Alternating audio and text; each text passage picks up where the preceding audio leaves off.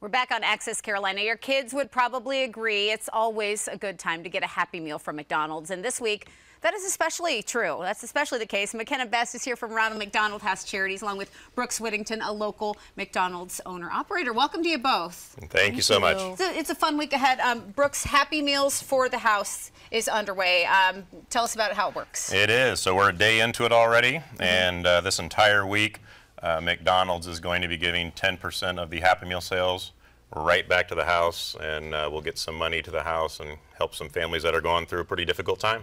And so. so, this week, the kids in the car going, please, can we stop and get McDonald's? That's, They've got a little bit extra ammo it, to get It's not just yes. kids. We, we sell a lot of Happy Meals to yep. adults, too. So the, the more Happy Meals we sell, the, the more money the house gets. And uh, it's, it's a great thing all around. It's a great thing. I said that four-piece nugget is the best meal for yeah. anybody anyway. Um, Happy Meals um, right in front of us. We've got these the boxes here, a couple toys. Right. Remind us the nostalgia of, of getting a Happy Meal for, for a child or a grown-up. So uh, it just, it's a smile. It puts yep. a smile on your face.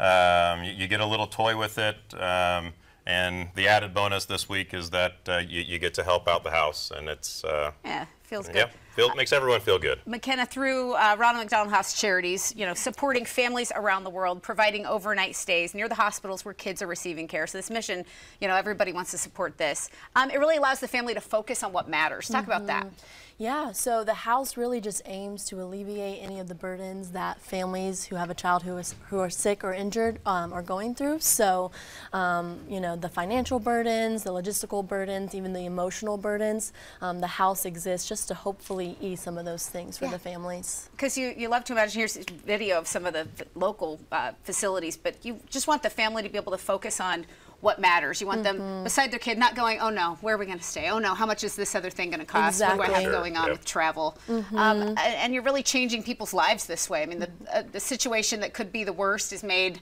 you know, manageable? Yeah, absolutely. So the house provides meals each night, um, homemade cookies each day, laundry services, and just a place to rest and recharge yeah. so that they can be able to support their and, children. And down to that cookie, it's just the, it's not like a hotel stay. It's with people who understand you're going through something. It's people who are wanting to make sure you're comfortable at, as if you were at home. Exactly. Um, exactly. Ronald McDonald House Charities also helps with medical care and resources. Anything else about the impact that, that's made here?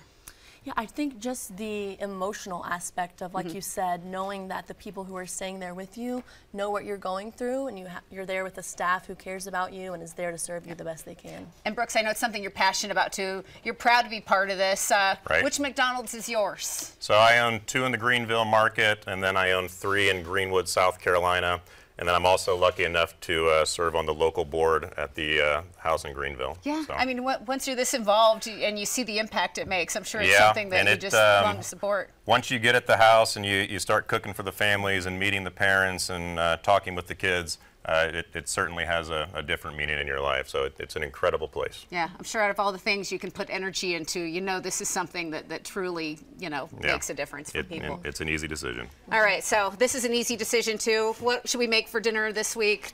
Go grab a Happy Meal and, uh, Happy Meals for instead. lunch and dinner. All right, I like it. McKenna Brooks, glad to have you here. Thank you very much, and it's going to be an excellent campaign. Happy Meals for the House through April 26th. 10% of all Happy Meal sales will be donated back to local Ronald McDonald House Charities chapters. And